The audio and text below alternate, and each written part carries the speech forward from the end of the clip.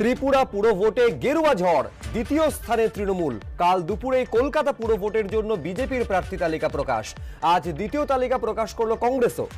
এই সমস্ত বিষয় নিয়ে আলোচনা করব, আলোচনার জন্য যারা উপস্থিত রয়েছেন, আসুন শুরুতেই প্রত্যেকের সঙ্গে আপনাদের পরিচয় করিয়ে দিই। দেবাংশু ভট্টাচার্য আমাদের সাথে রয়েছেন, আলোচনায় রয়েছেন শঙ্কর মণ্ডল, সৌম্য আইচ রায়, পার্থপ্রতিম বিশ্বাস, শুভময় মৈত্র এবং বিশ্বনাথ চক্রবর্তী আমাদের সঙ্গে এই আলোচনায় যোগ দিয়েছেন। আমি প্রত্যেকের কাছে আসব, কিন্তু শুরুতেই ত্রিপুরা পুরো ভোটের সার্বিক ফলাফল আপনাদের সামনে তুলে ধরবো, যে ফলাফল নিঃসন্দেহে বিজেপির পক্ষে স্বস্তিদায়ক এবং তৃণমূলের দাবি, এই ফলাফল তাদের ক্ষেত্রেও যথেষ্ট আশাব্যঞ্জক। দেখুন। ত্রিপুরার পুরভোটে গেরুয়া ঝড়। পুর নিগম, পুরসভা ও নগর পঞ্চায়েতে নিরানব্বই শতাংশ আসনেই জিতল বিজেপি। মোট প্রাপ্ত আসনে নিরিখে দ্বিতীয় স্থানে বামেরা। তবে ত্রিপুরা ত্রিস্তর পুরভোটের বড় সংখ্যক ওয়ার্ডে দ্বিতীয় স্থানে উঠে এলো তৃণমূল। বিজেপির কাছে আগরতলা পুরসভা হারালো বামেরা। পাশাপাশি অনেক ওয়ার্ডেও তারা নেমে গেল তৃতীয় স্থানে। কার্যত ধুয়ে মুছে গেল চতুর্থ স্থানে নেমে যাওয়া কংগ্রেস।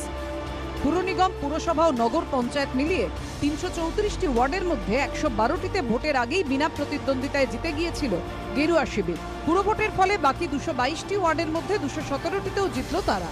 অর্থাৎ তিনশো চৌত্রিশটি আসনের মধ্যে তিনশো উনত্রিশটি আসনেই জিতল পদ্ম শিবির। শতাংশের বিচারে প্রায় নিরানব্বই শতাংশ। বামেরা জিতেছে তিনটি ওয়ার্ডে। তৃণমূলের দখলে গেছে একটি ওয়ার্ড। একটি ওয়ার্ডে জিতেছে তিপ্রা। এখান থেকে লোকজন নেতা অভিনেতা সব নিয়ে গিয়ে ওখানে ক্রিমিনাল পর্যন্ত নিয়ে যাওয়া হয়েছে ওখানে রাজনীতি করার জন্য।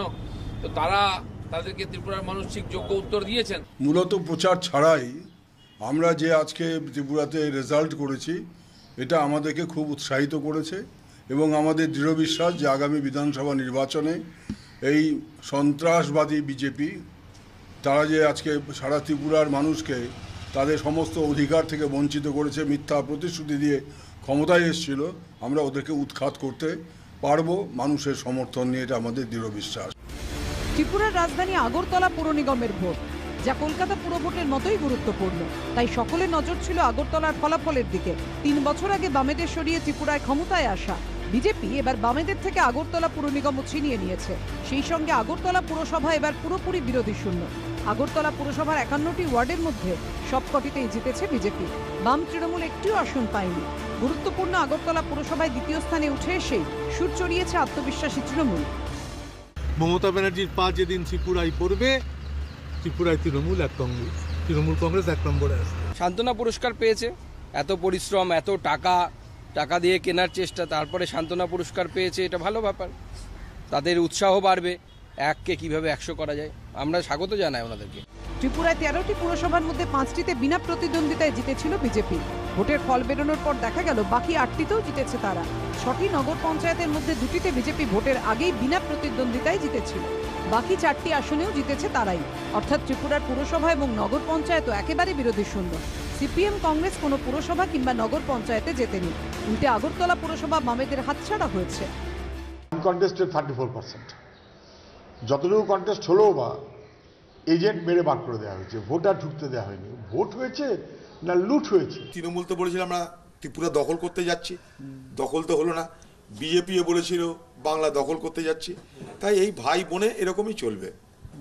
মোদি ভাই আর দিদি বোনে এরকমই চলবে। দু হাজার তেইশ সালে ত্রিপুরায় বিধানসভা নির্বাচন। সেদিকেই এখন নজর সব দলের। প্রসেনজিৎ সাহা অর্ণব মুখোপাধ্যায় ও বিজেন্দ্র সিংহ রিপোর্ট এবিপি আনন্দ।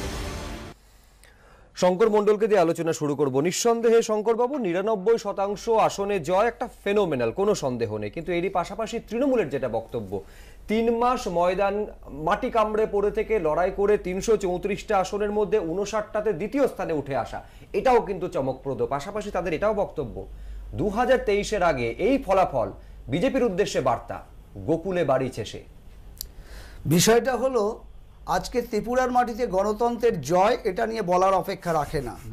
তার কারণ পশ্চিমবাংলার মানুষ, আমরা সবাই জানি পশ্চিমবাংলায় কি নির্বাচন হয়। পশ্চিমবাংলায় একটা নির্বাচন মানে অগণিত মানুষের মৃত্যু। কিন্তু ত্রিপুরায় একটা মানুষেরও মৃত্যু হয়নি।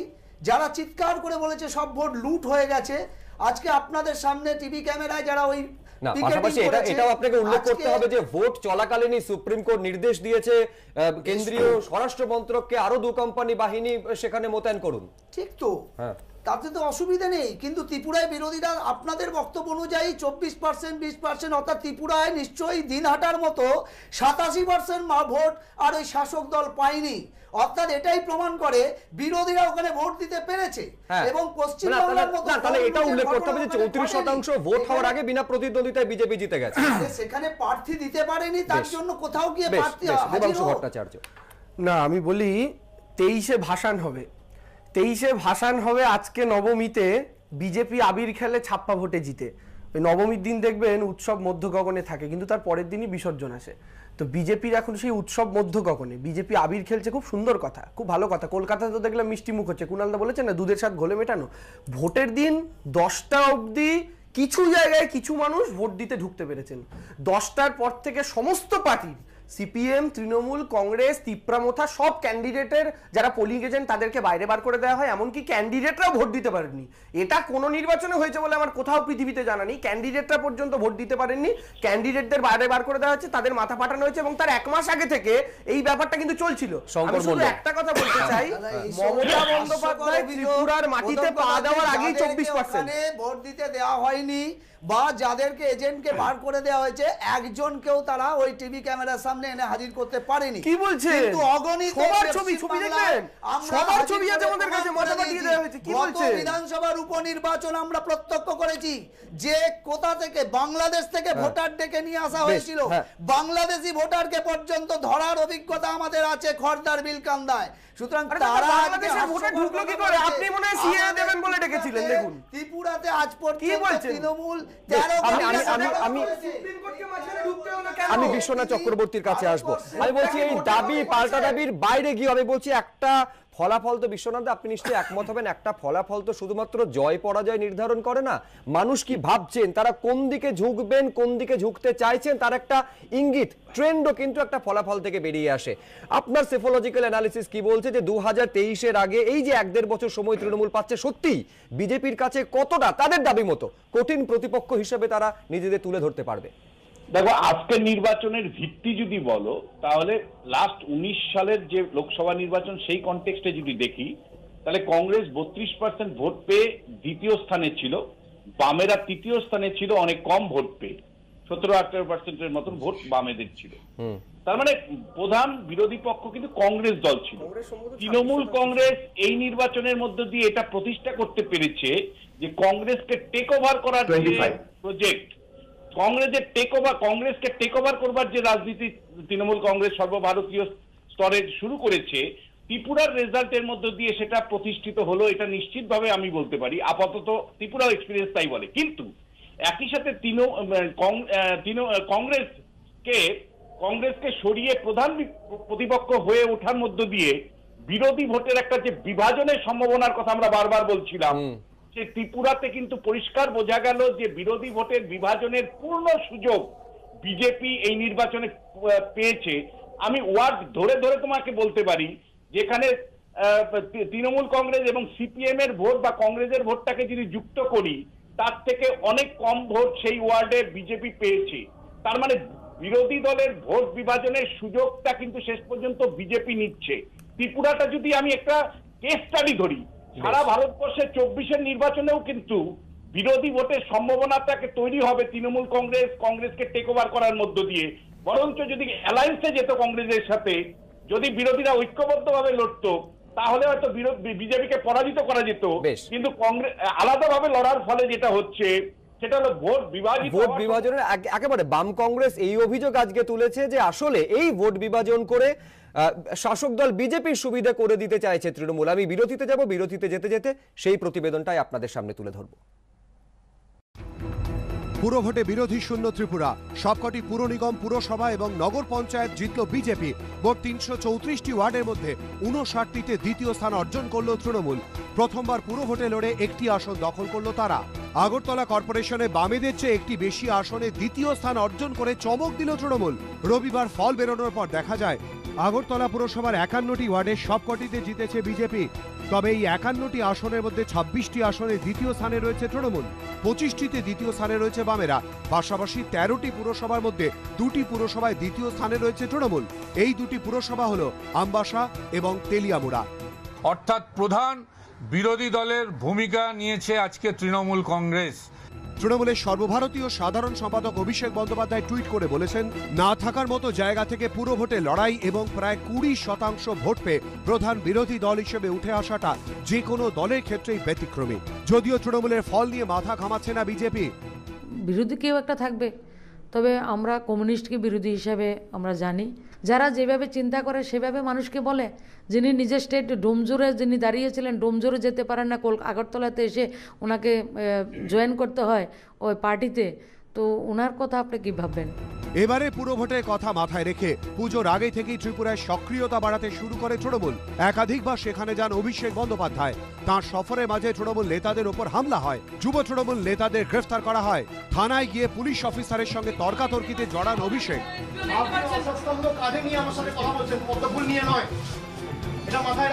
পুরো ভোটে চার দিন আগে খুনের অভিযোগে গ্রেফতার করা হয় যুব তৃণমূলের রাজ্য সভানেত্রী সায়নী ঘোষকে। তবে জামিন অযোগ্য ধারা থাকলেও পরের দিনই জামিন পান তিনি। পুরো ভোটের ফল দেখে সায়নী টুইট করেছেন, অরাজনৈতিক ও অমানবিকভাবে বিজেপি প্রথম রাজনৈতিক ও মানবিকভাবে তৃণমূল। প্রদীপ নিভে যাওয়ার আগে শেষবারের মতো একবার দপ করে জ্বলে ওঠে। শুধু মাথায় রাখবেন, দলটার নাম তৃণমূল, নেত্রীর নাম মমতা, বিধানসভায় হবে। অন্যদিকে শুভেন্দু অধিকারী আবার টুইট করেছেন, আগরতলার পুর নিগম এবং অন্যান্য পুরসভা ও নগর পঞ্চায়েতে জয়ের জন্য ত্রিপুরা বিজেপি এবং মুখ্যমন্ত্রী বিপ্লব দেবকে অভিনন্দন। বাংলা দুর্নীতিগ্রস্ত ফ্যাসিস্ট এবং তোলামূল দলকে মুছে দেওয়ার জন্য ত্রিপুরার মানুষের কাছে কৃতজ্ঞ। যদিও তৃণমূল বিজেপির এই বাকযুদ্ধকে নকল লড়াই আখ্যা দিচ্ছে সিপিএম কংগ্রেস।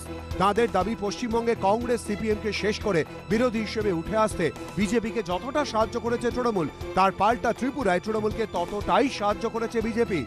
পশ্চিমবঙ্গে যেমন মমতা ব্যানার্জি, যারা বিজেপির বিরুদ্ধে বা তৃণমূলের বিরুদ্ধে লড়ে, তাদেরকে ধ্বংস করে সে নিজের একছত্র ক্ষমতা বাংলায় স্থাপন করেছে।